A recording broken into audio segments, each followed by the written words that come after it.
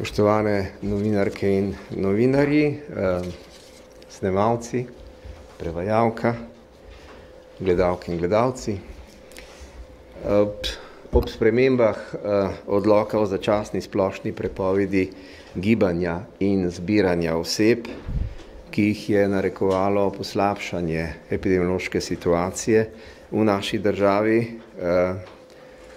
številni organi, pa tudi mi sprejemamo tudi številna vprašanja, kako s tem, kako tolmačiti ta nov odlok, posebej še v povezavi z načrtovanjem in izvedbo tako javnih kot tudi zasebnih dogodkov.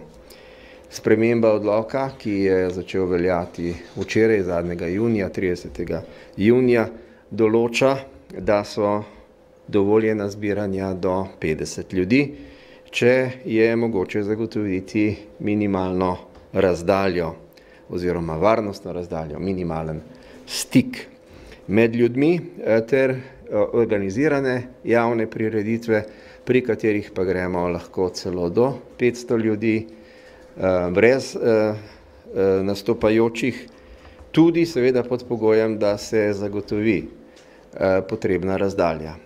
To je še toliko lažje organizirati takrat, ko imamo opraviti s sedežnim redom, kjer je mogoče označiti sedeže, ki ne smejo biti zasedeni, in se na ta način zadeva lahko organizira.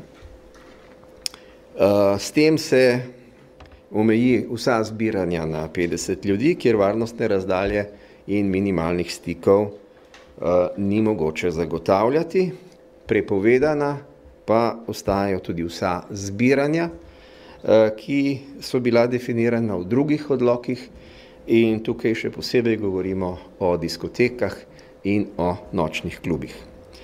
Da bi osvetlili te pogoje za načrtovanje in organizacijo takih zbiranj, predvsem pa pojasnili, kako omogočiti varno zbiranje skupin, tako do petdeset kot nad petdeset ljudi, smo danes v na to tiskovno konferenco povabili doktorico medicine Bonjo Miljavac, ki je predstojnica območne enote Nacionalnega inštituta za javno zdravje v Novem mestu.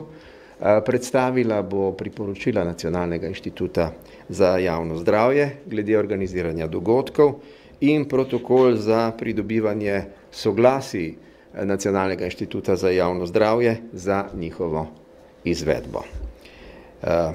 Doktorica Miljavac, prosim za vašo predstavitev in pojasnila. Lepo pozdravljeni, z uveljavitvijo odloka so nastopile določene omejitve, predvsem gre za dogodke nad petdeset ljudi. Čeprav glede principov, ki se jih treba držati, ni razlike. Razlika je predvsem v tem, da večje število ljudi je skupaj, se povečajo možnosti za prenos okužbe, kar je tudi večja verjetnost, da se znotraj, med zbranimi torej, znajde oseba, ki je okužena z novim koronavirusom in prenese to na ostale. Osnovni princip, katerega se je pri izvedbi prireditev treba držati, je vzdrževanje ustrezne medosebne razdalje. To pravzaprav pomeni, da manj kot meter pa pol naj ne bi bilo med ljudmi, ki se sicer ne družijo ali ne živijo skupaj. To naj bi se upoštevalo pri sedežnem redu, kar je zlasti pomembno za organizatorje.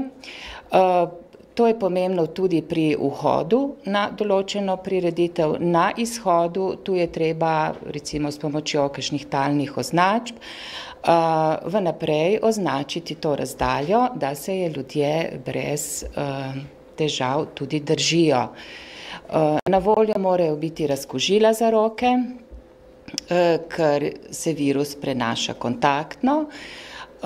V kolikor se vse skupaj dogaja v zaprtih prostorih, je obvezna tudi uporaba mask, tako da imajo prednost dogodki, ki se dogajajo na prostem.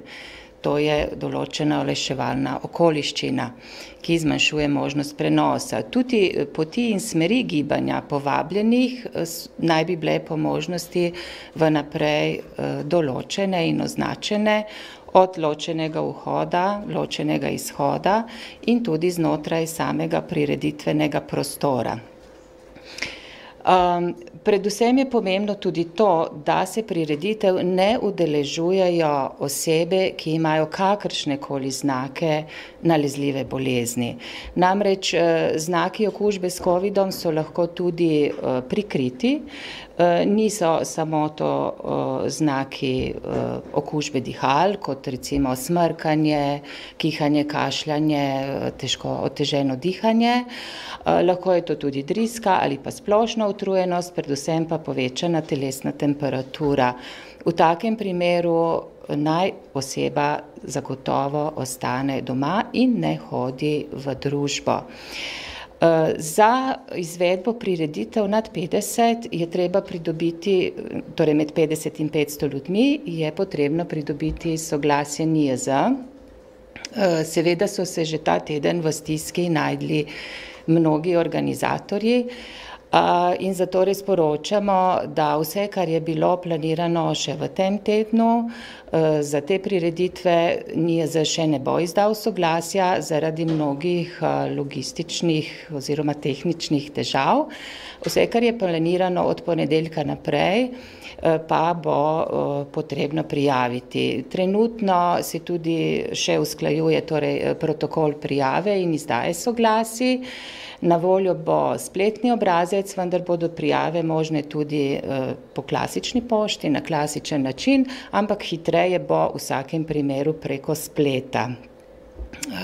Tako da bodo lahko organizatorji za to še pravočasno poskrbeli.